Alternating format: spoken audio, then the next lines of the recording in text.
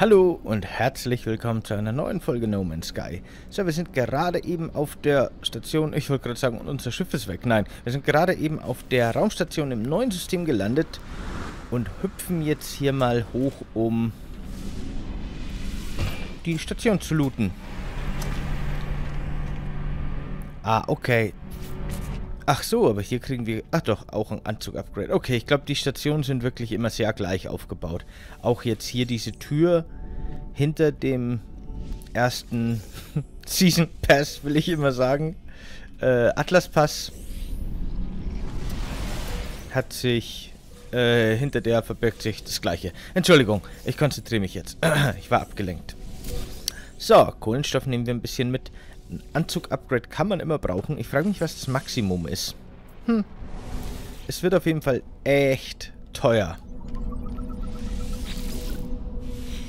Ich sollte mal unser Inventar aufräumen und auf dem nächsten Schatzplaneten, auf dem wir landen, ordentlich looten.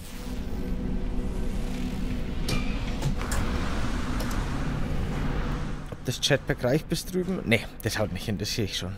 Das heißt, wir gehen lieber zu Fuß und fliegen das letzte Stück damit wir uns die Treppen sparen. So, hallo. Wie stehen die Aktienkurse? Schön, dass da nur Zahlen stehen, aber überhaupt kein Indikator für was diese Zahlen jetzt eigentlich stehen. Überhaupt nichts. Und bei manchen steht Minus, bei manchen Plus, bei manchen ein roter Pfeil statt Minus. Ist das ein Unterschied? Aber ich kenne mich auch im wahren Leben nicht aus. Aktien und so. Pfö. Okay, hallo. Ich glaube, ich kann dein Hirn sehen. Vielleicht solltest du mal irgendwie was dagegen machen. Ich weiß ja nicht. Ähm, Krieger! Krieger! Irgendwas mit Krieger. Alle Waffensysteme scheinen zu funktionieren, doch bewirken sie nichts. Aha. Als ein hohles und leeres Klicken. Die Lebensform heult vor Selbstverachtung.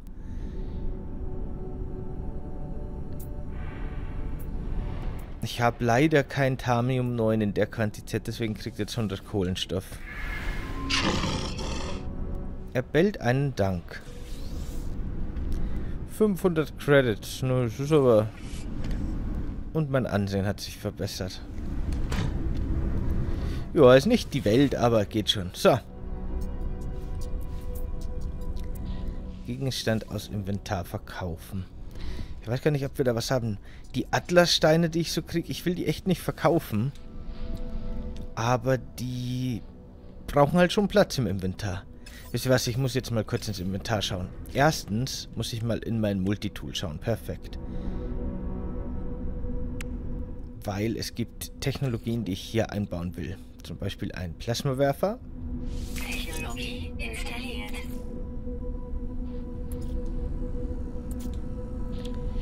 Was haben wir denn hier noch? Höhere Geschwindigkeit finde ich eigentlich gar nicht schlecht. Prallen vor der Zündung von planetaren Strukturen ab? No. Ähm, verfügen über größere Aufprallkrater. Das ist gut, wenn man graben will, aber leider wird Graben in dem Spiel nicht besonders belohnt. Muss man leider sagen. Naja, höhere Geschwindigkeit finde ich auf jeden Fall nicht schlecht. Das können wir mal einbauen. Und von mir aus auch einen größeren Aufprallkrater. Dann kann man sich schneller Höhlen buddeln. Ach so. Ach so, ja, ach so, da brauchen wir Aluminium. Das wäre natürlich super.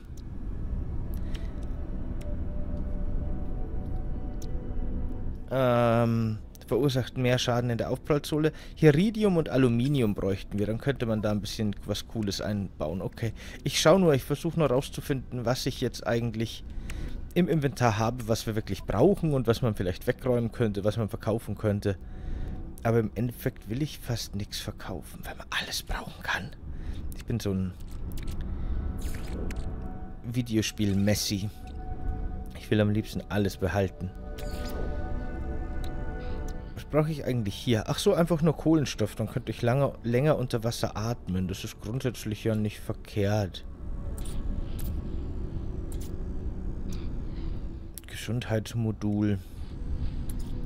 Ich weiß nicht, da ist es mir, den, den Inventarplatz ist es mir irgendwie nicht wert, dass ich in meinen Anzug so Systeme einbaue.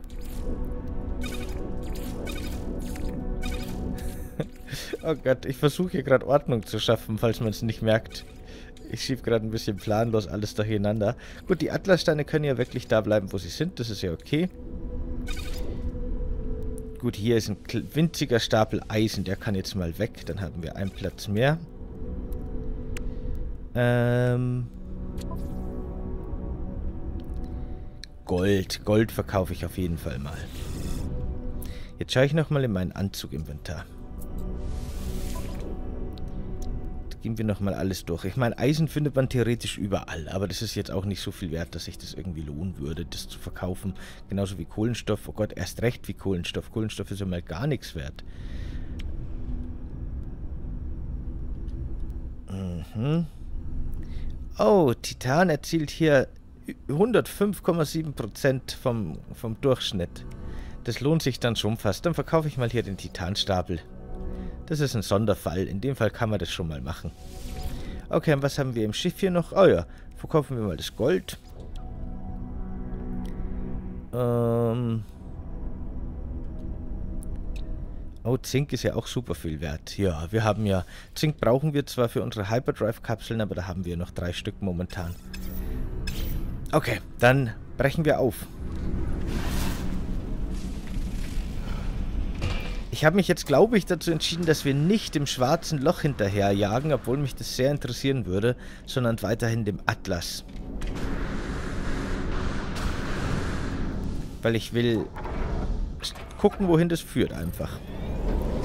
So, dann schauen wir uns noch mindestens einen Planeten an, nämlich hier den nahegelegensten Planeten überhaupt.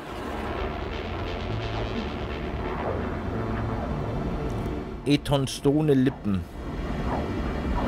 Was für ein schöner Name. So, wir haben hier wieder Orange mit Blau. So ein bisschen.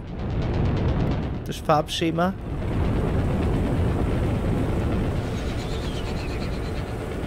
Überall stehen kleine Würfel. Oder so Säulen. Okay, ich glaube, ich habe ein paar Pflanzen gesehen. Ah, da haben wir eine Antenne. Landen wir doch bei der mal.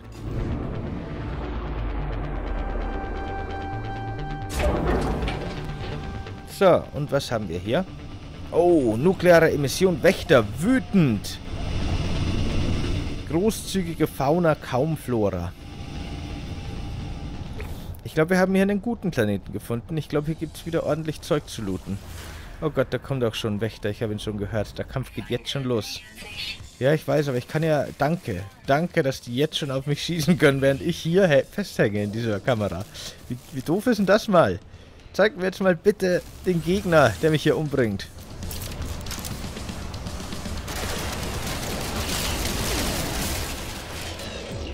So.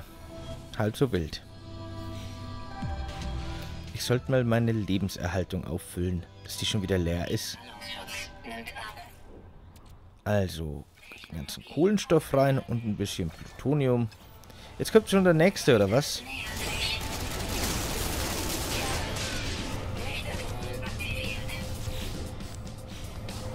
Ich glaube, ich habe mal keinen Spaß mit den Wächtern. Ich glaube, die sind hier ein bisschen aggro. Aber warum? Ich bin gespannt, warum. Hier muss es doch irgendwie total cooles Zeug geben. Ah, hier haben wir wieder Graviton-Perlen. Das ist wahrscheinlich der Grund für die aggressiven Wächter.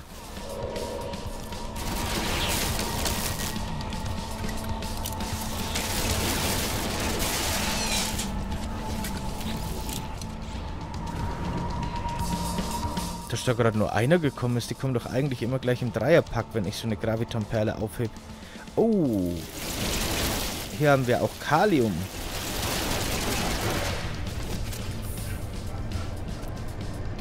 Ja, ich glaube, auf dem Planet könnten wir uns ein bisschen was zusammensuchen. Aber jetzt endet gleich mein Strahlungsschutz und ich habe einen Meilenstein und kann deswegen nicht mehr sehen, wo ich hinlaufe. Das ist immer ein bisschen doof. Haben die nicht optimal durchdacht irgendwie.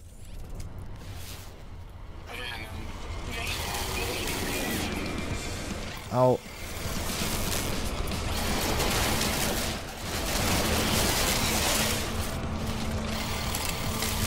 Schnell looten. Okay.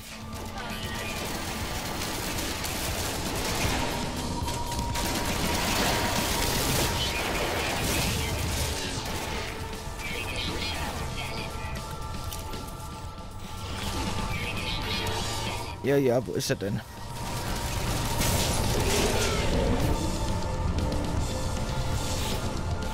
Okay, lauter bereits bekannte Technologien. Jupp, wir sollten jetzt echt gehen.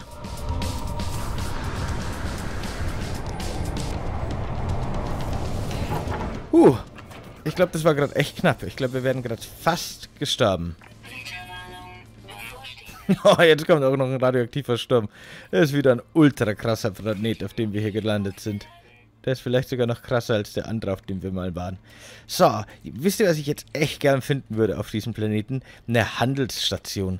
Weil dann loot ich im Umkreis von dieser Handelsstation alles so dermaßen nieder und verkaufe es sofort. Das wäre schon cool. Was haben wir denn da? Ist das eine Ruine oder so? Ja, das ist... Ja, warum, warum landen wir nicht hier? Finde ich eigentlich ganz interessant. Lande ich jetzt sogar oben auf der Ruine? Oh Gott, ja, anscheinend.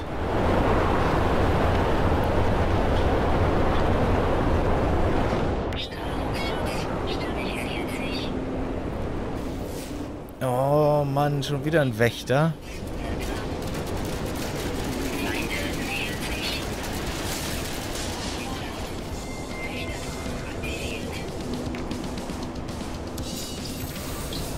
Boah, hier ist aber echt eine Party.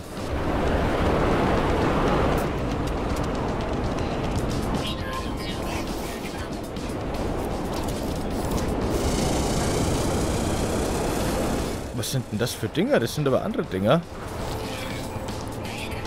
Ah, hier gibt es Eiweißperlen und die anderen. Und Gravitationsperlen. Und Kalium. Ach du Scheiße, nachladen.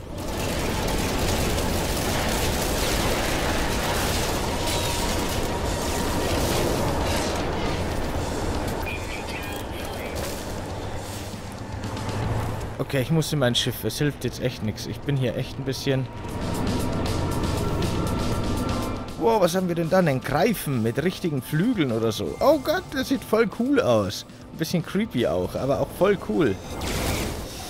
Au, au, au, au. Wo ist mein Schiff? Wo parke ich denn? Wo parke ich denn? Hilfe, ich habe Panik. Panik, Panik.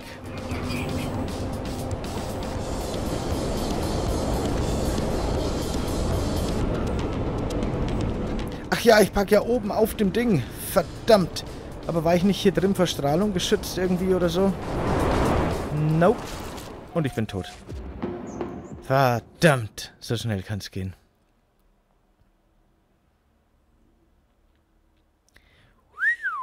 Nicht schlecht. Ziemlich hardcore. Au, das geht ja gleich mal gut los, die zweite Generation. Wirft mich da einfach mal so rein. Okay, dann holen wir erstmal unser Gut, unser verlorenes Gut wieder. So. Jetzt gerade hieß es schon, wie der Strahlungsschutz stabilisiert sich. Ich wollte ins Menü gehen und das alles wieder aufladen, aber es hat nicht geklappt. Ich hätte im Schiff mich besser vorbereiten müssen. Aber egal. Bitten wir hier einfach mal um Hilfe bei der Sprache. Dann gehen wir mal wieder an Bord unseres Schiffes, wenn wir da hochkommen, hoffentlich. Aber es sieht ganz gut aus. So. Huh, wir haben anscheinend auch ein paar Rohstoffe bekommen. Ach so, nee, wir haben nur wieder eingesammelt, was wir verloren haben. Genau. So, was machen wir jetzt? Ich weiß schon. Erstens tanken wir den Hyperdrive jetzt auf. Das ist mal ein guter Anfang. So, dann haben wir wieder einen Inventarplatz für einen Schatz. Titan. Ja, jetzt suchen wir eine Handelsbasis, würde ich sagen. Oh, da ist noch ein Tierchen. Ich glaube, ich muss mal schnell aussteigen und versuchen, hier oben zu parken. Na komm, scan doch mal diesen Hundestegosaurus.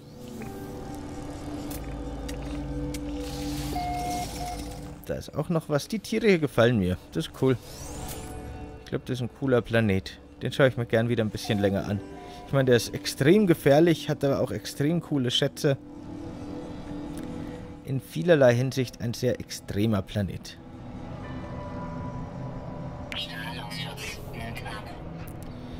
So, jetzt setze ich mich nochmal kurz rein, weil vielleicht... Nee, wir fliegen jetzt hier weg, würde ich sagen. Wo war denn dieser Lebens, diese Lebensform? Ah, da wird sie mir angezeigt. Weil dann fliege ich jetzt in Richtung von dieser Lebensform und dann schauen wir mal, ob wir auf dem Weg irgendwas finden und ob vielleicht da sogar wirklich eine Handelsstation ist bei dieser Lebensform. Das könnte ja sein. Ah, da haben wir was. Ist aber nur so ein kleiner äh, äh Bau. Den brauchen wir gerade nicht.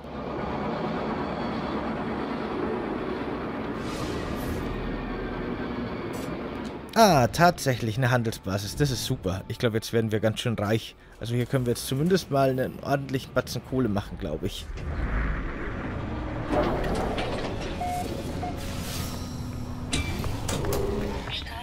Hallo.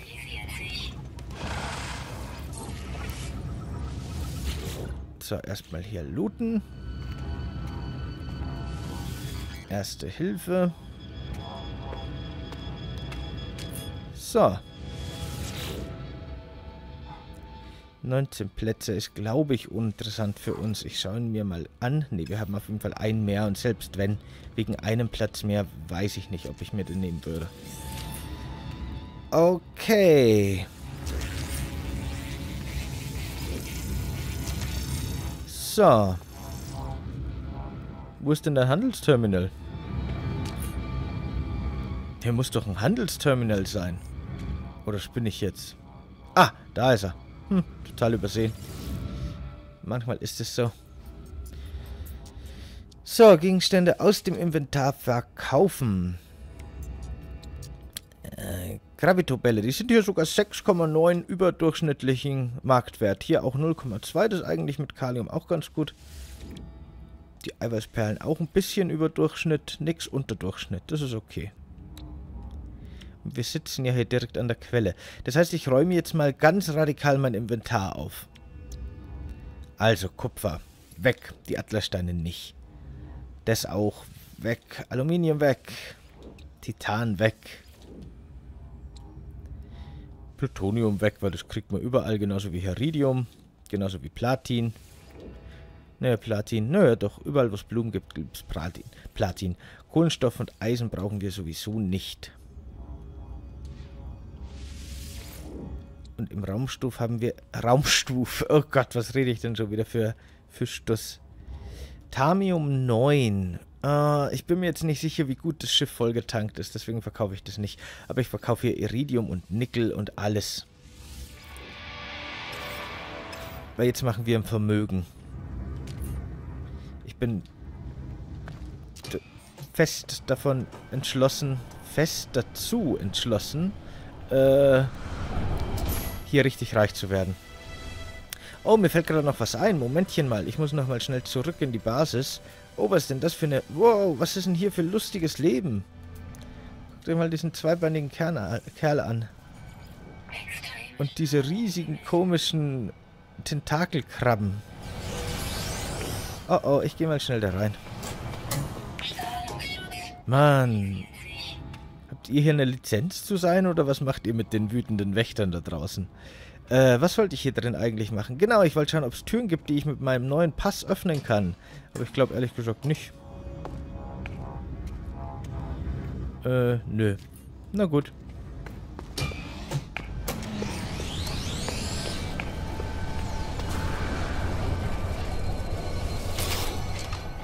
Bereits bekannt.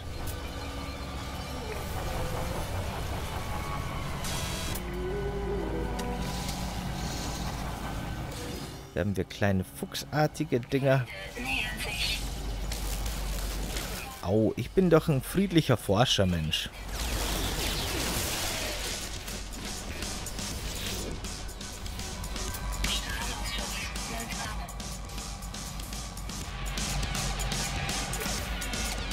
Ja, der ist auch nicht unlustig.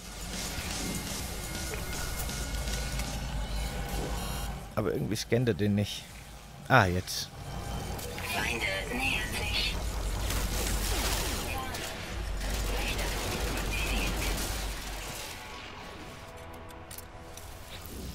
So, gehen wir auf Schatzsuche.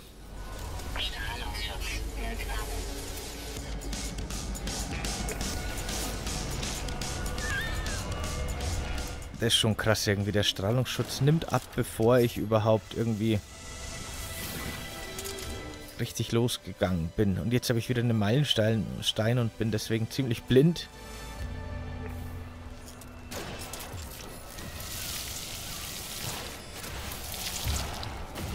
So, Kalium ist ja auch nicht ohne vom Wert her. Oh Gott.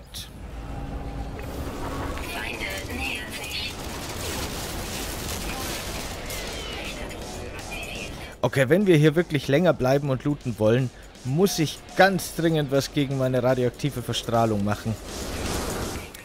Die nimmt zu schnell zu sehr zu. Zu, zu sehr zu.